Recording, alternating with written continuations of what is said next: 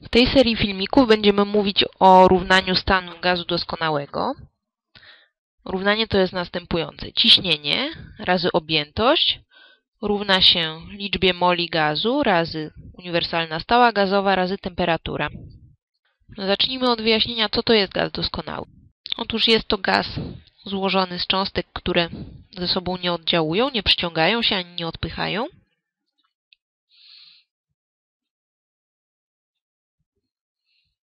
Jak również nigdy się nie zderzają, to znaczy pojedyncza cząstka w ogóle nie czuje obecności innych cząstek, porusza się po prostu ruchem jednostajnym do momentu, aż napotka ściankę zbiornika i się od niej odbije. Jest to oczywiście pewna idealizacja. Żaden rzeczywisty gaz nie spełnia ściśle tych założeń, ale idealizacja ta oddaje rzeczywistość bardzo dobrze w przypadku rzadkich gazów. Natomiast w przypadku, kiedy gaz jest gęsty, kiedy dana objętość jest naprawdę całkiem szczelnie upakowana cząstkami, to jest to całkiem intuicyjne, że cząstki będą, będą się zderzać, będą się od, od siebie odbijać i w jakiś sposób ze sobą oddziaływać i te założenia już nie będą spełnione równanie stanu gazu doskonałego przy tych założeniach, które podałam, można ściśle wyprowadzić na gruncie mechaniki statystycznej. Oczywiście nie będziemy tego robić, a historycznie z początku zostało e, znalezione doświadczalnie. Dokładniej jest to kombinacja dwóch praw doświadczalnych. Pierwsze z nich jest to prawo Boyla-Mariotta, bardzo stare prawo, odkryte w XVII wieku i mówi ono, że w stałej temperaturze iloczyn ciśnienia i objętości jest wielkością stałą stałej temperaturze. A drugie prawo jest to prawo Charlesa, troszkę nowsze, ale również odkryte bardzo dawno, które mówi, że w stałej objętości ciśnienie jest proporcjonalne do temperatury stałej objętości. Po chwili zastanowienia dojdziemy do wniosku, że obydwa te prawa są bardzo intuicyjne, ale żeby to zobaczyć, musimy sobie najpierw przypomnieć po pierwsze, co to jest ciśnienie.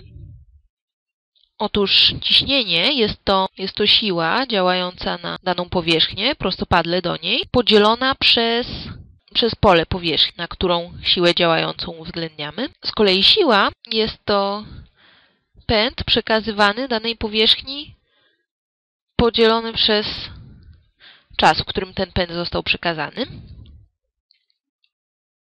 A w jaki sposób cząstki gazu przekazują pęd ściance naczynia? Otóż wyobraźmy sobie, że mamy ściankę i tutaj leci cząstka w ten sposób, po czym odbija się i leci dalej tak. Widzimy, że zmiana pędu cząstki nastąpiła tutaj w tej składowej prostopadłej do, do ścianki. Początkowo składowa prostopadła do ścianki wynosiła P prostopadłe, natomiast po odbiciu była równa co do wartości bezwzględnej, ale miała przeciwny znak. Czyli pęd cząstki zmienił się o minus 2 p prostopadłe w wyniku zderzenia. A ponieważ w takim złożonym układzie cząstka plus ścianka pęd jest zachowany, to wynika z tego, że ścianka otrzymała w wyniku zderzenia od cząstki pęd plus 2p prostopadłe. Taki jest właśnie mechanizm wywierania ciśnienia przez, przez cząstki na ścianki naczynia. I teraz znając ten mechanizm możemy podsumować, że im szybsze, średnio rzecz biorąc, są cząstki gazu i im częściej uderzają w ścianki, tym większa jest siła działająca na ściankę i tym większe jest ciśnienie. Powiedzmy sobie jeszcze, co to jest temperatura takiego gazu zamkniętego w zbiorniku. Otóż jest to średnia energia kinetyczna cząstki gazu przypadająca na 1 stopień swobody.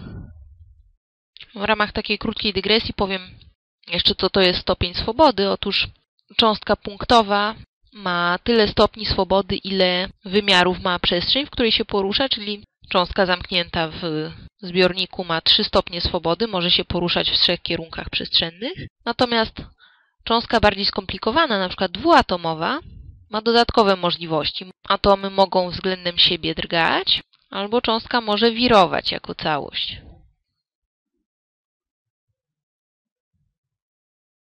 Dobrze, to teraz Rozumiejąc, czym jest ciśnienie i temperatura, możemy wrócić do naszego równania stanu gazu doskonałego. Spójrzmy najpierw na sytuację, gdy nie zmieniając objętości zwiększamy temperaturę.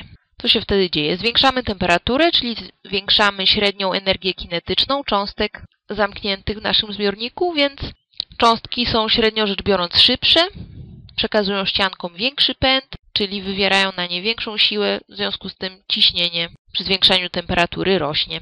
Tak to nam uzasadnia to drugie prawo, prawo Charlesa. Tutaj nie jest oczywiste, że będzie to taka prosta proporcjonalność, a nie na przykład proporcjonalność do kwadratu temperatury czy do jakiejś innej rosnącej funkcji. Ale tak jak już mówiłam, jest to prawo znalezione doświadczalnie i w doświadczeniu wyszło po prostu, że jeśli mierzyć ciśnienie i temperaturę gazu stałej objętości, to otrzymane punkty doświadczalne będą w granicach jakiegoś błędu pomiarowego układały się na prostej.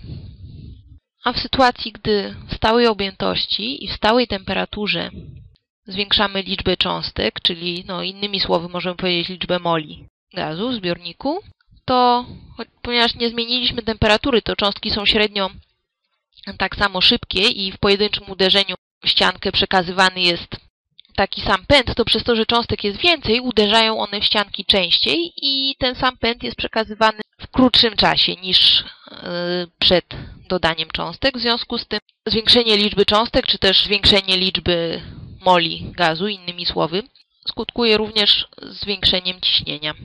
I to nam uzasadnia proporcjonalność ciśnienia do liczby cząstek, czy też liczby moli gazu zamkniętego w zbiorniku. A co się dzieje, jeśli w stałej temperaturze i co się dzieje, gdy nie zmieniając temperatury i nie dodając cząstek, ani nie odejmując ich, będziemy zwiększać objętość. Czyli z początku mamy przykład o taki zbiornik zawierający daną ilość gazu w pewnej temperaturze. Natomiast na końcu mamy tyle samo, średnio tak samo szybkich cząstek, tylko w większej objętości. No widzimy, że ścianki są dalej, więc każda cząstka musi lecieć dłużej, żeby dotrzeć do ścianki i się od niej odbić. W związku z tym uderzenia w ścianki następują rzadziej, dany pęd jest przekazywany w dłuższym czasie. To oznacza, że siła jest mniejsza, a przez to mniejsze jest ciśnienie. To nam uzasadnia tę odwrotną proporcjonalność ciśnienia do objętości. Nie jest to oczywiste, że będzie to odwrotna proporcjonalność właśnie do objętości, a nie do jakiejś rosnącej funkcji objętości, ale ponownie przypominam, że prawo Boyla Mariotta było prawem odkrytym doświadczalnie i po prostu mierząc ciśnienie gazu w różnych objętościach otrzymano punkty, jakieś punkty doświadczalne, które granicach błędu pomiarowego mieściły się na krzywej opisywanej wzorem P razy V równa się jakiejś stałej, nazwijmy to A. Dobrze, czyli podsumowując, ciśnienie gazu w stałej objętości przy stałej liczbie cząstek będzie rosło wraz z temperaturą. W stałej objętości i w stałej temperaturze będzie rosło wraz z liczbą cząstek i w przypadku stałej liczby cząstek i stałej temperatury będzie malało wraz z objętością. Czyli inaczej możemy to zapisać, że P razy V, ciśnienie razy objętość, będzie proporcjonalne do liczby moli gazu razy temperatura. Tutaj zamiennie mówię liczba moli i liczba cząstek. To nie jest ściśle to samo, ale liczba moli gazu nam wyraża po prostu liczbę cząstek. Jak pamiętamy, n małe moli gazu to jest n razy liczba Avogadro cząstek. A żeby zamiast takiej proporcjonalności mieć równość, to musimy tutaj uwzględnić jeszcze stałą proporcjonalności. I jest nią uniwersalna stała gazowa. Uniwersalna stała gazowa w różnych jednostkach ma następujące wartości. Jest to 8,31 metrów sześciennych razy paskale przez kelwiny razy mole lub też 0,082 litry razy atmosfery przez kelwiny razy mole. I teraz już uzasadniliśmy sobie to równanie stanu gazu doskonałego. W kolejnych filmikach postaramy się z tym równaniem oswoić przy pomocy przykładów.